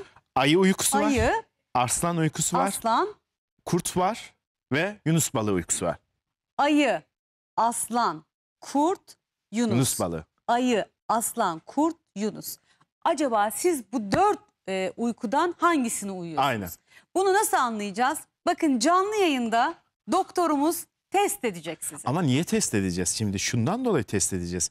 Çok güzel söyledin ama bunu test etmemizin sebebi şimdi sen diyelim kurt uykusu uyuyorsun. Kurt uykusu uyuyorsun, zayıflamak istiyorsun. Doktora gidiyorsun. Doktor sana diyor ki işte 3 tane zeytin ye, kibrit çöpü büyüklüğünde peynir ye ama zayıflayamıyorsun. Neden? Çünkü sen aslında uyku tipine göre beslenmiyorsun. Uyku tipine göre spor yapmıyorsun. Uyku tipine göre kahve içmiyorsun, çay içmiyorsun. Dolayısıyla aslında biz bunu niye yapıyoruz? Günlük hayatımızı belirleyelim. Nasıl daha fit olalım, daha nasıl zayıflayalım, daha iyi nasıl zinde kalalım diye yapıyoruz yani. O zaman zayıflamak için, güzelleşmek Aynen. için, sağlık için, umut için, heyecan için, güzel yaşamak için Evet. bakın testimiz geliyor. Tam 9 sorumuz var. Bu arada size zaman kazandırdım. Kalem kağıt Evet. aldınız. Bakın bu o kadar çok önemli ki ne olur bir kenara not edin. Ee, şıkları şöyle yapacaksınız. A, B, C, D diye şıklarımız var. Siz sorduğumuz soru üzerinde mesela şu anda genelde saat kaçta uyanırsınız? Bu sorular üzerinde mesela size uyan B, C, D olabilir. Onları bir kenara mesela 1 C, 2 D diye lütfen not alın. En sonunda hangi uyku tipine sahip olduğunuzu hocam anlatacak. Evet. Ben de yapacağım bu arada. Evet genelde kaç saat Şimdi, uyuyorsunuz şimdi şöyle hocam? şöyle yapalım. Heh, ben ben, ben bir ayağa kalkayım. Ben Hang- heyecan yaptım. hangisinden daha okuyayım? Şuradan mı okusam daha iyi olur? Hocam buradan oturup okuyabiliyor musunuz oradan? Şöyle şöyle kalkayım. Ayakta durayım böyle Tamam, kendimi peki. canlı hissedeyim. Tamam. peki. Ama sen de işaretle. Sen orada dur. Tam Biz işaretliyorum. buradan biz okuyalım. Evet. İlk soruyu düşürelim ekrana. Evet gelsin ilk soru. Evet, ilk sorumuz Genelde gelsin. saat kaçta uyanırsınız? A sabah 8-9 gibi, B sabah 6 ve daha erken, C sabah 11 civarı, D zaten zor uyuyorum, kalkma saatim değişiyor. Evet. Şimdi o zaman peki burada sen hangisini işaretlerdin? Genelde saat kaçta uyanırsın? Ben Sabah. B hocam. B işaretlersin. Şimdi burada hangi şıkkı işaretliyorsak bunları yazacağız. Birinci Tamam. sorumuz buymuş. Sabah saat Evet, 6 sabah veya 8-9 gibi, sabah 6 ve daha erken, Evet. sabah 11 civarı zaten uyuyorum, kalkma saatim değişmiyor. Benimki 1, sabah 6'da kalkıyorum. sabah 6 ve erken kalkıyorsun. Evet. Peki zorunlu mu kalkıyorsun yoksa seni serbest buradaki soru şu. İşten dolayı değil. Se- zorunlu mu kalkıyorsun? Ben zorunlu kalkıyorum ama cumartesi pazar da aynı saatte Heh, kalkıyorum. işte o önemli. Cumartesi pazarda. Yani serbest Ya bıraktığımız otomatik artık vücut İkinci saatim soruya geçelim uyanıyor. lütfen. İkinci İkiye soruyu görelim. geçiyoruz. Sosyalleşmeyi dışarı çıkmayı seviyor musun? A bazen. B çok bana göre değil. C bayılırım. Bu tam benlik. D gitmeye bile katlanamıyorum. Evet. Ben hemen Sen Bayılırım hangisini mı? işaretledin? C. C. Yani sosyalleşmeyi çok seviyorsun. Çok seviyorum. Bak burada enteresan bir şey var. Bazen bazen diyor. C bayılırım diyor. Evet. O bayılırım da. Evet. Peki evet. üçe Diğer soruya geçiyoruz. geçelim. Genelde saat kaçta uyursunuz? A. Evet. Akşam 20-23 gibi. Pardon. Akşam Akşam- yani 10-11 gibi. Yani şöyle Gece 10 akşam 11 gibi evet. 22-23 gibi. B. Mümkün olan en erken saatte. C. Gece 12'den sonra. D. Çok geç hatta sabaha, Sabaha karşı. Evet. Şimdi ben Evet. Serbest bıraktık ama seni. Serbest Evet, bıraktığımız şimdi zaman şöyle, kaçta uyan, uyuyorsun? Ee, şimdi hocam zorunluluktan benim kızım olduğu için ders çalışacak falan bilmem ne onun toparlaması 12'yi bulduğu için 12. Ama ben beni bana bıraksan 10'da uyumak isterim. Nasıl yapacağım bunu? Nasıl o zaman cevaplayacağım? işte sana serbest bıraktığımız zamanı yapacağız. O zaman 20 23 gibi güzelleşme 23. saatinde girerim A yatağa. şıkkı mı oluyor o zaman seninki? A. A oluyor. Evet.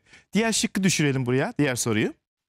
Dördüncü soru geliyor. Evet. Geceleri yeterince uyuyor musunuz? Evet. A. Hayır. Hayır. Lütfen biraz daha uyuyayım. Evet. B. Genelde uykumu alırım.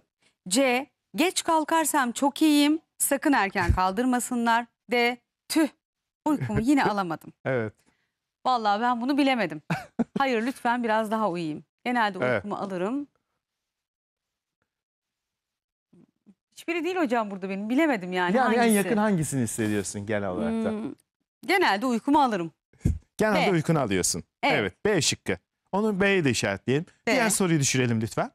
Beşinci soru geliyor Evet. arkadaşlar. Ne sıklıkta diyor? Şekerleme yaparsınız. Ne sıklıkta? Şekerleme. Çok tatlı. Evet. Vallahi fırsatım. Yalnız şekerleme ile ilgili bir şey söyleyeceğim. Şekerlemenin özellikle öğle şekerlemesinin Hadislerde de geçer. Çok Evet. faydalı olduğunu birazdan anlatacağım. İlkindi şekerlemesinden kalktığın zaman da deli kalkabilirsiniz. Şekerleme ve kahve ile ilgili bir, yeni bir şekerleme şekli var. Nappuccino, kahve uykusu. Birazdan onu anlatacağım. Bir Bunu dakika. geçelim. Napucci- Cappuccino'yu biliyorum da Napuccino'yu hiç duymadım. Nap uyku demek, şekerlemek demek.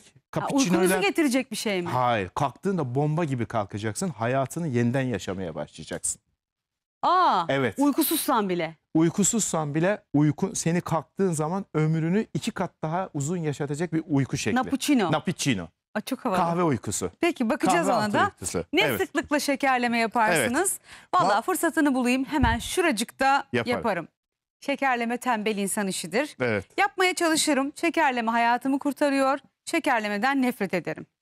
Evet.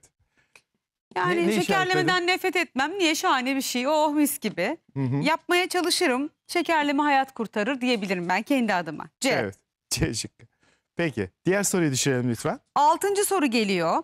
Günün hangi saati kafanızın zehir gibi çalıştığını düşünüyorsunuz? Hı hı. A öğlen, B sabah, C gece, D akşam. Hı hı. Vallahi benim sabah zehir gibi çalışır aklım. Evet. Niye güldünüz hocam? Çok güzel. B. B Benimki B. şıkkı diyorsun. Evet. Genelde B'ye gidiyorsun sen. Çok güzel. Evet hemen 7'ye bakalım. Evet. İştahınızı nasıl tarif edersiniz? Bunu edemeyeceğim. Bu anlatılmaz yaşanır bir şey. Açlık çekerim ama sağlığıma dikkat etmem lazım. Devamlı açım ne bulsam yerim. Ben de yanına geleyim. Geceleri evet. acıkıyorum genelde. Evet. D. Yemek demeyin bana kim oturup da yiyecek? Asla böyle bir şeyim yok. Yemek yemeyin bana kim oturup da yiyecek? Benimki şöyle. Evet. Açlık çekerim ama sağlığıma da dikkat etmem lazım. Ben A'yı seçiyorum. Siz neyi seçtiniz bilmiyorum ama ben e, 7. soruda A diyorum. Çok güzel. 8. soruda ufak en ufak tıkırtı sesine uyanır mısınız? A. Top atılsa hayatta duymam. B. Çok rahatsız olmam. C. Uyumuşsam çok da takılmam. D. Fare tıkırtısına bile uyanırım. Ben hocam. D. D şıkkı mı? D. B şıkkı. D. D. Evet. Yani fare tıkırtısına Fare bile tıkır- uyanırım. Evet. Dokuzuncu soru. Son sorumuz. Ve son Evet. sorumuz. İnşallah siz de bu testi, uyku testini canlı yayında yaptınız. Biraz sonra hocam uyuyamayanlar için bir tarif verecek. Nappuccino. Evet. Nappuccino. Allah Allah. Vallahi Kahve biz uykusu. cappuccino'yu duyduk ama, Ama bize bir kahve getirsinler. kahve. Evet yayında Nasıl iki tane içersiniz? Türk kahve. Orta içi. Türk Ee, yayına istiyoruz iki tane Evet. orta Türk Gösterelim kahvesi. Tabii bu değil yani Nappuccino vereceğimiz Tabii. şey bu değil. Biraz sonra onu vereceğiz. Dokuzuncu soruya gelelim. Kendinizi tek bir özelliğinizle tanımlarsanız hangisi size en fazla uyar? A. Mutlu ve arkadaşlarla gülmeyi seven. B. Çok çalışkan ve düzenli. C. Biraz karamsar, biraz içe dönüyüm ama birden farklı yaratıcı fikirler aklıma gelir. Mükemmelliyetçiyim, bu beni çok yoruyor. Şimdi burada iki tane de iki şıktan fazla var mesela. Ne yapmak lazım? En çok yakını işaretle. Mutlu ve arkadaşlarıyla gülmeyi seven. Tamam peki. A. A şıkkı. Evet hocam. Şimdi en çok hangisi çıktı sende bakalım. A, A, A Hı hı. eşit çıktı. B çıktı. Yani Ama sen hayır. A da var, B de var şu işte anda. sen bende. A ile B'nin karışımısın. Peki bu A ile B ne? Şimdi Ama şöyle yapacağız. Şimdi sayacağız. 9 tane işaretlediler ya Evet. seyircilerimiz. En çok hangisi çıkmış ona bakacaklar. Yani sende mesela 3 tane A var, 3 tane B var. Sen A ile B'nin karışımısın. Hı hı. Şimdi cevabı şöyle bir düşürelim ekrana. Hangisiymiş? A verenler neymiş? B verenler neymiş? C Şimdi bu verenler neymiş? 9 şık arasında eğer A şıkkınız çoğunluktaysa ayı uykusu. Ay uykusu sizde. istiyorsunuz. evet. B ise Arslan uykusu. aslan uykusu. C ise Kurt uykusu. kurt. D ise D ise. Yunus D balığı. ise Yunus balığı. Evet. Şimdi bu cevaplara geçmeden önce Ne anlayacağız biz bundan? anlayacağız. Yunus balığının çok küçük bir özelliğini anlatayım. Yunus balığı aslında normalde kara canlısı. Daha sonra suyun içerisine girmiş. Akciğerler olan bir canlı. Suyun içerisinde eğer uyuyacak olursa beyninin yarısı e, daha doğrusu uyuk, uy- uyanık kalır. Diğer yarısı uyur. Eğer çift taraflı uyuyacak olursa suyun içerisinde boğulur gider. Bu yüzden de Yunus balığı öyle bir metot geliştirmiş ki yüzeyel uyuyor. Beyninin tek yarısıyla uyuyor, tek yarısını uyutuyor. Bir, bir saat sonra da bu tarafı uyutuyor, bu tarafı geçiriyor. Aynı kuşlar gibi. Kuşlar da böyledir. Kuzey kutbundan güney kutbuna uçarken beyninin yarısıyla uyurlar. Diğer yarısını da Daha dinlendirirler daha sonra da değiştirirler. Bu bizim insanlarımıza da geçmiştir. Hani böyle daha yaşlı, daha böyle huysuz, yaşlandıkça hepimiz aslında oraya doğru gidiyoruz aslında. Daha huysuz, en ufak tıkırtıdan uyanan, böyle mesela e, sitenin bahçesinde çocuklar oyun oynarken hemen onlara karışan, her şeye şey yapan, zor uyuyan, hemen uyanan tipler var. İşte bunlar Yunus balığı. İşte bundan dolayı Yunus tipinin özellikleri de gelsin ekrana. D'den başlıyoruz. Evet. C, B, A diye gideriz. Yunus tipi özellikleri. Ben, bence efendim. aslanla başlayalım. Niye As- aslanla başlayalım? Peki arkadaşlar aslanı dolayı. getirelim. Aslan dediğimiz şey şunlar. Bunlar sabahın erken saatinde kalkarlar. Çok erken kalkarlar ve iş isterler böyle. Ve erken yatarlar, işkoliktirler. Genelde patron karakterlerindedirler, CEO karakterlerindedir ve dünyayı da genelde bunlar idare ederler. Aslanlar. Tabii ki aslanlar idare ederler Yani çünkü... A şıkkı çoğunluktaysa Evet, aslan. aslan. karakterindeler. Bunlar dünyayı idare ettikleri için de çok uyuyan insanlara ya da geç yatıp geç kalkan insanlar bunların gözünde tembel Bir insanlardır. dakika hocam yanlış bilgi vermeyelim. Aslan B, B şıkkıymış. A Evet, şıkkı değilmiş. değil. Yanlış söylemeyelim. Tabii. A B şıkkındaki- şıkkını seçtiyseniz aslan tipi uyuyorsunuz ve Tabii. özellikleriniz böyle. Evet. Evet. Dolayısıyla bunlar CEO karakteri. Bunlar patron karakteri. Dünyayı yöneten tipler bunlar. Dolayısıyla dünyayı yönettikleri için de geç yatan, geç kalkan insanlar bunların gözünde tembel insanlardır. Ve eee, ne yapmaları gerekiyor bu kişilerin? Aslanın özelliği nedir? Genelde ne yer? Et yer değil mi? Protein yer. Karbonhidrat tüketmemesi lazım. Bunların genelde protein tüketmeleri gerekiyor. Bunlar da en ufak bir karbonhidrat tüketmesi halsizlikleri, gün içerisinde uykularının gelmesine sebep olur. Mutlaka bunların Aa. protein tabanlı, sebze tabanlıdan daha ziyade alkali de değil, daha ziyade protein tabanlı yemeleri gerekiyor. Çünkü yemeleri et lazım. yemeleri gerekiyor. Yani siz sabah kalkıyorsanız, sabah yatıyor, erken yatıyorsanız siz patron karakterisiniz, CEO karakterisiniz. Dikkat edersen bunların yüzünde daha önce konuşmuştuk. Yüzlerinde çizgi oluştuğu zaman da şurasında tek çizgi oluşur. Çünkü devamlı düşünceli, Düşünceli. evet sert karakterlerdir. Ve aslında içleri iyi insanlardır. Ee, üretken insanlardır ama işkolik insanlardır. Ve dünyayı da bunlar yönettiği için diğer gruptaki insanları hayatı çekilmez hale getirirler. Hocam ne kadar güzel yani bir uyku, bir uyku ve uyku şekliniz sizin aslında yaşamınızı etkiliyor. Yani ve neye dikkat ederseniz mesela aslansanız karbonhidrat yerseniz Tabii. hayatınız zindan Tabii. oluyor. Tabii. ka- şey Hastalıklar, yapıyoruz. kilo alma. Şimdi bu Amerika'da e, bir doktor tarafından e, yaklaşık olaraktan 100 bin tane Amerikalı üzerinde yapılmış bir çalışmanın sonucunda çıkmış bu. Yani insanları böyle hani kategorize ederken bakmışlar. Hangi karaktere daha uygun oluyor? Hı hı. Arslana mı uyuyor? Ne, ne yerse daha iyi kilo alıyor diye bunun üzerine çalışma yürütülmüş. Bunun üzerine Peki çıkmış aslan için başka bunlar. tavsiyeniz ne? Et Aslan için diyorsunuz. tavsiyemiz şu. Bir, bunların mutlaka sporu sabah Evet. yapmaları gerekiyor. Sabah saat 7 gibi mutlaka spor yapmaları gerekiyor. Akşam yapacak olurlarsa sporu bunlardaki adrenalin seviyesi sabah e, salındığı için, arttığı için e, akşam yapacak olurlarsa adrenalin artar, uykularını kaçırır, uyku kalitesini kaçırır ve kalp krizine sebep olur. O yüzden de bunların mutlaka sabah yapmaları Aa, lazım. Peki. Kahveyi kahve kahve içiyoruz ya.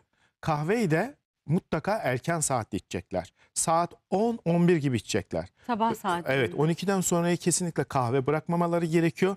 Kahveyi bırakacak olurlarsa kahve beyinlerinde çok ciddi etkileri sebep olur. Yani 9 ile 11 saatleri arasında kahvenizi içebilirsiniz Tabii, diyorsunuz. Aynen. Peki. O saatte ve protein ağırlıklı besleyecekler. Evet aslanlar. Peki bütün bu test sonucunda A'yı seçtiyseniz yani şıkkınız A ise ve ayı uykusuysa neye dikkat etmeniz gerekiyor? Ayılar e, aslında toplumun bu anlattığımız aslanlar toplumun yüzde beşidir.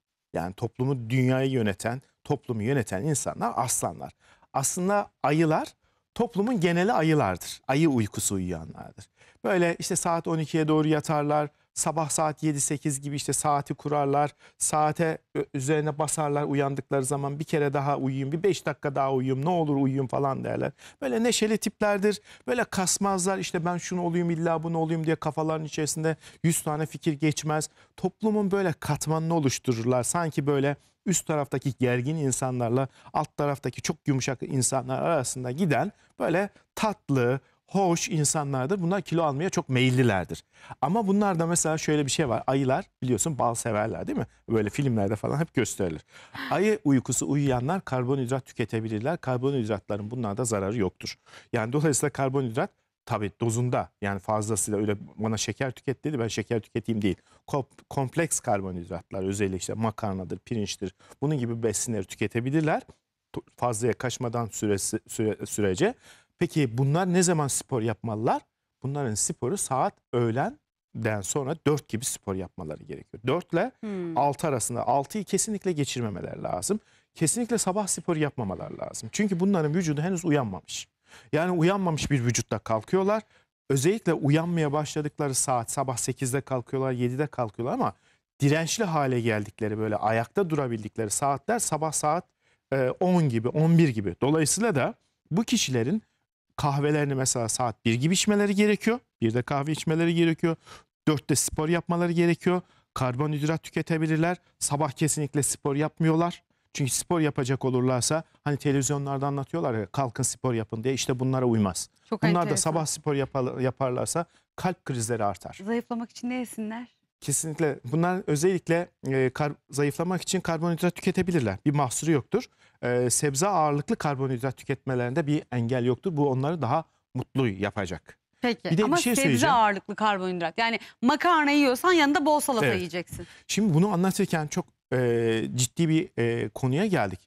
Yeni tıpta yeni bir şey çıktı. Kronoterapi dediğimiz bir yöntem çıktı. Evet. Kronoterapi dediğimiz şey şu. Hastanın kemoterapisini hastanın e, uyku saatine göre verilmesi. Biliyorsun kemoterapinin bir sürü yan etkisi var. Saç dökülmesi yapıyor. Evet, evet. Kanda baskılanma yapıyor. Hı hı. Kan hücrelerini azaltıyor. Ve dolayısıyla da bir sürü yan etkisi olduğu için kemoterapiyi acaba hangi saatlerde verirsek daha az yan etkisi olur diye bakmışlar. Hı hı. Özellikle Fransa'da yapılmış bir çalışma var. Kemoterapi ne zaman verilirse yan etkisi azalır diye bir çalışma yapılmış. Ve şunu gördüler. Mesela benim de bir tane hastam vardı. Gönderdiğim bir hasta. Fransa'ya gönderdim. Hastanın karaciğer kanseri vardı ve e, birçok yerine de sıçramalar olmuştu.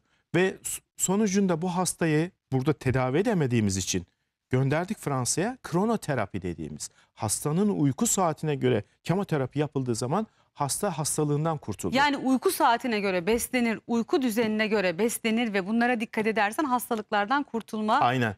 Kemoterapi etkili oluyor. Kanserde etkisi müthiş var. bir şey. Evet. Peki hemen kurt uykusuna da geçelim o Olur. zaman. C ise eğer seçtiğiniz şıklar C ise kurt gibi uyuyorsunuz. Yani Evet. gelsin ekrana. Kurtlara geldik. Kurtların özelliği şu. Bunlar genelde geç yatarlar, geç kalkarlar, sanatçı kişiliklerdir. Üretken kişiliklerdir. Çok çabuk dışarıya doğru e, küsüp içlerine kapanabilirler. Çünkü Hmm. dışarıdan devamlı surette onam beklerler. Onaylanmayı beklerler. İşte bak ben bunu ürettim, şunu çizdim, bunu yaptım, bunu üretiyorum falan gibisinden böyle ince ruhlu, hoş insanlardır. Ama tek sıkıntıları bunların şu, bunların patronları arslanlar. Aslanlar bunlara diyor ki sabah erken kalkacaksın, erken yatacaksın diyor. Şimdi adamın geni, atasından aldığı gen öyle çalışmıyor. Bu adamın atası diyor ki geç yat, geç kalk diyor. Böyle alışmış ama bunu erken kaldırttırıyorsun. Şimdi ne beslenmeleri gerekiyor? Hı hı. Bunların beslenmesi gereken kurtlar da biliyorsun protein ağırlıklıdır. Bunlar da Protein. protein. Kesinlikle ağızlarına karbonhidrat koymaması gerekiyor. Mesela e, ayılarla farkı şudur. Ayılar mesela diyelim ki tatlı yediler. Bir porsiyon tatlı yediler. Kilo almadılar ama kurtlar en ufak bir tatlı yedikleri zaman hemen vücutlarında Kilo alıyorlar. çalışır. Bu nereden çıkıyor? Bizim hepimizin şurasında Nur bir saat var. Şu saat burada. Çok ince bir saat bu.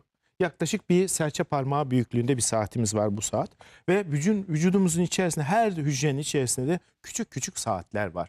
Bu saat bütün bu saatleri idare ediyor ve vücudun nasıl çalışacağını, hangi saatlerde yemek yememiz gerektiğini, Aslında vücut sana her şeyi anlatıyor evet, değil mi ne hocam? yapmamız gerektiğini her şeyi anlatıyor. Dolayısıyla biz bu saatin dışına çıktığımız zaman kilo almaya Dengeyi başlıyoruz. bozuyoruz. Dengeyi Peki, bozuyoruz. Kurtlar proteinle besleniyorlar. Peki D'yi seçtiyseniz nesiniz? Yunussunuz. Az önce de biraz Yunus'tan bahsettiniz. Hemen Yunuslar nasıl beslenmeli? Nasıl e, sağlığına kavuşmalı Evet. ondan bahsedelim. Kurtların s- uyku, şeyin söylemeden geçmeyelim. Spor saatleri bunlar akşam 6 ile 8 arasında spor yapacaklar. Evet. Akşam 6 ile 8. Şimdi geldik Yunus balıklarına. Yunus balıkları daha ziyade yaşla beraber. Bak Yunus balıklarının özelliği şudur. Bizim kanser hastalarında bile mesela Bir prostat kanseri düşünün. Prostat kanseri 50 yaşından önce ya da ya da meme kanseri 50 yaşından önce oluşursa çok kötü seyredebiliyor. Ama geç yaşlarda oluştuğu zaman daha iyi seyrediyor. Niye? Hücreler Hücre. böyle canlılığı yitiyor. Uykuda da beyin hücrelerimiz de öyle. Ne uykuyu doğru düzgün başlatabiliyor ne uykuyu devam ettirebiliyor. Prostatları büyüdükleri için tuvalet, tuva- devamlı tuvalete gidiyorlar. İlaç içtikleri için, tansiyon ilaçları içtikleri için, şeker ilaçları içtikleri için uyku kaliteleri bozuluyor. Dolayısıyla Yunus balıkları doğru düzgün uyku uyuyamıyorlar. Peki uyuyamadığı zaman ne oluyor? Sabah kalktığınız zaman kendinizi hani uyanıyorsunuz ama kendinizi dinlenmemiş hissediyorsunuz. Yorgun. Mesela tek bir örnek vereyim. Ee, hemşirelerde yapılmış bir çalışma var. Bunlar hemşireler biliyorsunuz gece nöbet tutuyorlar. Hemşirelerde özellikle hormonal kanserler dediğimiz meme kanseri, prostat kanseri ve kalın bağırsak kanseri diğer insanlara göre gece çalışmayan insanlara göre yüzde 200 daha fazla artıyor. Yüzde 200 artıyor. Bunun haricinde ışık altında çalışmak. Mesela ışığın altında eğer ışığın e, lümen olarak düşünürsek 6 lümenin üzerinde geceleri çalışıyorsanız ki İsrail'de yapılmış bir çalışma var. Tel Aviv'de yaşayan insanlarla Tel Aviv dışında sahrada yaşayan, çölde yaşayan insanlardaki kanser kıyaslamalarına baktıkları zaman Tel Aviv'deki yaşayan insanların kanserinin sahrada yaşayanlara göre çok daha yüksek olduğunu Fazla gösterdi. ışık kanser yapıyor. Tabii ki fazla ışık kanser yapıyor. Bi- Peki yandık körlerde o o zaman. zaman. soru şu. Körlerde soru şu. Körler kanser olmuyor mu? Körlerde kanser ya ya adı amalarda diyelim görme özür Görme dilerim, çok özür diliyorum. engellilerde. Ee, görme engellilerde kanserler normal insanlara göre yani görebilen insanlara göre %50 daha azdır. Yarı yarıya azdır. Evet. Yani ışık aslında Edison tarafından bize verilmiş bir taraftan nimet Nimet bir ama öbür taraftan da. taraftan da zehir. bizim şeyimizi yapıyor. Evet Peki zehir. e, Yunus uykusuna uyuyanlar neyle beslensinler? Yunus uykusu, uykusu uyuyanlar mutlaka az yiyecekler bir kere bu bir. Hmm. Azar azar 6 öğün beslenmeleri gerekiyor. Çok beslenmemeleri gerekiyor. Sporlarını mutlaka 12 ile 1 arasında öğlen 12 ile 1 arasında yapacaklar ki az hücrelerine kan gitsin de canlansınlar, hareket edebilsinler diye Yunus balıklarının özellikle Yunus uykusu uyuyanların bu saatlerde uyuması gerekiyor. Kahvelerini de günde iki kere içmeleri gerekiyor ki uyandırsın. Çünkü kahvenin uyandırıcı etkisi vardır biliyorsun. Emineciğim getir kahvelerimizi. Getir bakalım. Sevgili seyircilerimiz, Türkiye'nin en önemli hekimlerindendir. Doçent doktor Nejat Altıntaş. Hocam buyurunuz kahveniz. Evet. E, ve e, literatürü, son gelişmeleri en iyi takip eden hocalarımızdan biridir. Ben ne zaman hocamı arasam, yani gerçekten eğer e, bir, e, na- söyleyebilirim değil mi? Tabii. Namık Kemal Üniversitesi başhekimi hocam. E, eğer görevinin başında değilse, e, hani çalışma saatlerinin dışında ne zaman arasam mutlaka yeni bir şeyler okuyor, yeni bir şeyler paylaşıyor ve yeniliklerin doktorudur kendisi. Evet. Ve altını çiziyorum literatürü en iyi takip eden Eyvallah. doktorlar arasında. Evet doçent doktor Nejat Altıntaş stüdyomda ve kahveyi çok sevenler için. Aman kahve içmeden güne başlayamıyorum ya da kahve mutlaka içmeliyim ama kahve uykumu kaçırıyor. İyi Evet. uyuyamıyorum diyenler için Nappuccino tarifi veriyor. Aynen öyle. Türkiye'ye Nappuccino'yu tanıtacağız. Nappuccino. Nappuccino ya da kahve uykusu diyeceğiz. İtalyan mı hocam bu Nap, Nappuccino? işte cappuccino'yla napı birleştirmişler ya. Yani nap Nappuccino- dediğin, nap dediğin nedir? nap uyku demek. Evet, Şekerleme demek. Cappuccino da cappuccino bildiğin. evet. Nappuccino da kahve uykusu. O ben kahve bunu kahve uyku diye çevirdim. Türkiye'de bunu oturtturacağım Türkiye'ye. Kahve uyku. Kahve uykusunun yerinde E'yi düşürüyorum. Kahve uyku. Şimdi ne yapıyoruz? Biliyorsun hepimizin içerisinde gece saat 12'ye doğru uykun geliyor değil mi hepimizin? Evet. Bir de saat 2'ye doğru herkeste saat 1 ile 2 arasında yemekten sonra yemeğe bağlı değil. Hepimizde uyku gelir. Yani Uyku 13-14 bastırır. arası öyle Aynen vakti. 13 ile 14 arasında uyku bastırır. Şimdi ne yapacağız? Eğer o saatte bir topu topu 15 dakika uyuyabilirsek bizi çok dinlendirir. Ve kalktığımızda dinlenmiş kalkarız. Doğru mu? Doğru. Hatta hadis vardır. Öğlen vaktinde uyuyun diye. İlkinde de uyumayın. Deli kalkarsınız der hadis. İşte biz de aynısını tıp bugün bu hadisi desteklemiş vaziyette. Ee, bu hadisin üzerinden gidecek olursak saat 13 ile 14 arasında uyuyacak olursak Hı ama kesinlikle 30 dakikayı geçirmeyeceğiz. 30 dakika uyuyacağız. 30 dakikanın üzerine geçtiğin zaman sizi delirtir o uyku. Olmaz. 30 dakikanın altında mümkünse saat. 15 ile 20 dakika arasında uyuyacağız. Uyumadan önce biliyorsunuz kahve de insanı uyandırıyor değil mi? Evet. Ama e, hemen etki etmemesi için biliyorsunuz e, içiyorsunuz. sizi uyandırma etkisinin yaklaşık bir yarım saat sonra başlar. Peki. O yüzden de ne yapıyoruz? Kahvemizi alıyoruz. Evet. Kahveyi böyle keyifle içmeyeceğiz ama. Aldık, yaptırdık böyle kahvemiz soğudu. Soğuduktan sonra öncelikle kahvemizi içiyoruz. Bir, içelim birlikte. Hepsini içiyoruz. İçtik. Hocam su içer gibi kahve içiyorsunuz. Bu biraz yudum yudum İşte içilmiyor. böyle soğuk soğuk içeceğiz. Hiç bekletmeyeceğiz. Kahveyi Hepsini içtik. bitiriyor muyuz? Evet hepsini bitiriyoruz.